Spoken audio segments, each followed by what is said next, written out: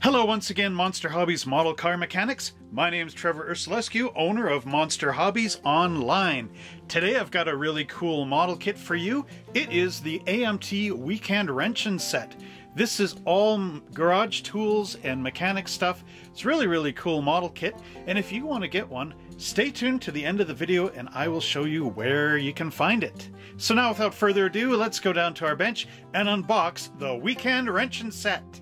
What better thing to do on the weekend than to actually work on a car? And here we have AMT's Weekend Wrenching set in 125th scale.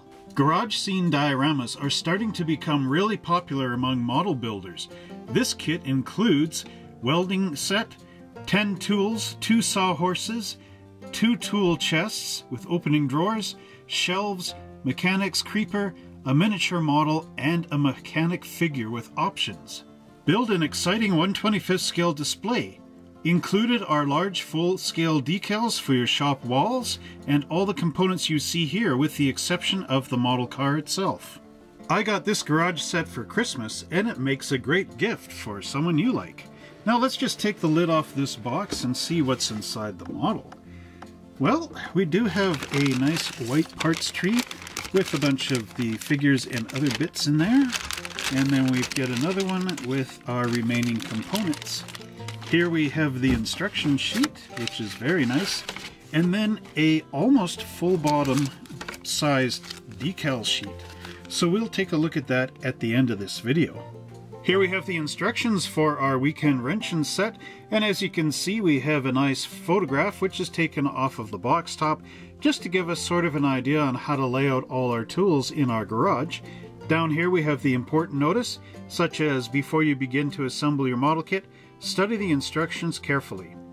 Here we have our symbols as to what we're going to expect inside the instruction sheet. Now, as anyone who has ever moved into an apartment or started their own business knows, the first thing you really need are some shelves. And here we have two outer racks, as well as one, two, three, four, five, five shelves. Ah, ah, ah.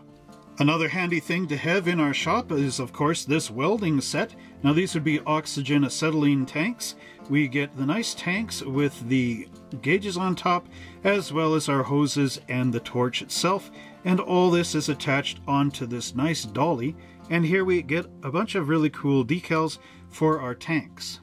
Next up we have our tool chest and this is really interesting because you build it with the top hinged upward and here's the top tray which glues down to the sides in this L-shaped piece.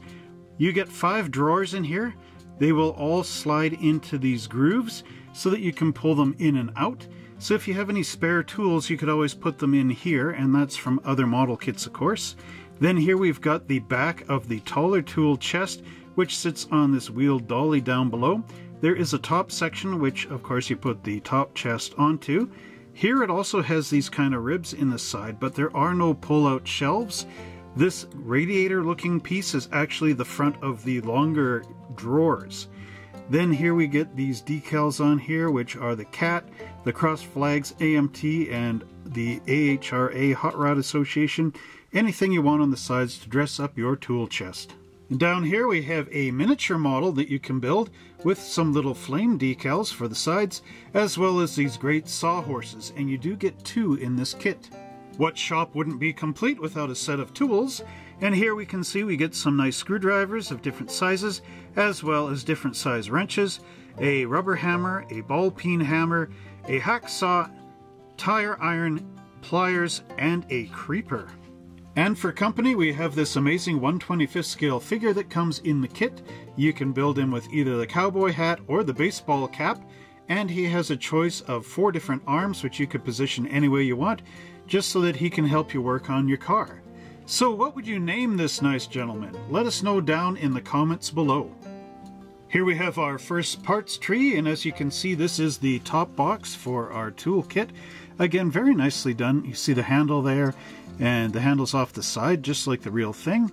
And if you turn it up this way, these are all our little shelves that go inside our toolbox. And there are some mold marks underneath. You'll have to sandpaper those down flat in order to make them look nice. But overall, looks pretty cool. There's the sliding uh, rack parts that go inside on the side of that toolbox. So again, very nicely done by AMT. Here we have our lower toolbox as well as our sawhorses, and you can see there are some caster wheels on the bottom of the toolbox in order for the mechanic to move it around. Again, very nicely done. There's a bit of flash in here, but not really much of a problem on the actual parts. Again, really cool model kit by AMT. This parts tree is quite a bit smaller, but as you can see, it contains all of our tools. And there have been a lot of model cars that come with tools as well that you could add into this collection. There's our creeper for along the floor for going underneath cars on your back, as well as our little model car in two pieces down here. Again, very cool and very unique. This parts tree contains the components for our oxyacetylene tanks, as well as our little dolly cart here. The only thing missing off of this is a set of chains, which would loop around both of the tanks just to keep them secure in case the dolly flips forward. Again, you've got your nice oxyacetylene torch right there, as well as your gauges. Very nice indeed, and very simple to put together. And here we have our shelving unit, which again is a nice simple little bit of model kit building. This set, whole set shouldn't really take you too long to build on your own. There are a little bit of marks here which could be cleaned up. I do believe that's part of that mold release agent, so you want to wash this with some soap and water. But overall, this should make a nice job for your little garage scene. And our final component is, of course, our mechanic friend. Have you figured out a name for him? If so, write it in the comments down below. As you can see, we've got a set of legs and a torso, as well as our four different arms, the two different hats, and our head here. And this should all turn out to look pretty nice once you get it done. Should actually fit in with any of your Fujimi mechanics that you may have.